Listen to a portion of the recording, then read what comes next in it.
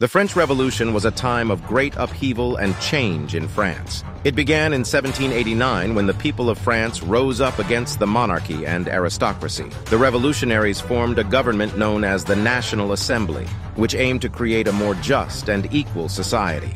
Their motto was liberty, equality, and fraternity. The guillotine became a symbol of the revolution, as many members of the ruling class were executed, such as Louis XVI. The French Revolution also led to the rise of Napoleon Bonaparte, who became a military hero and later emperor of France. Factoid.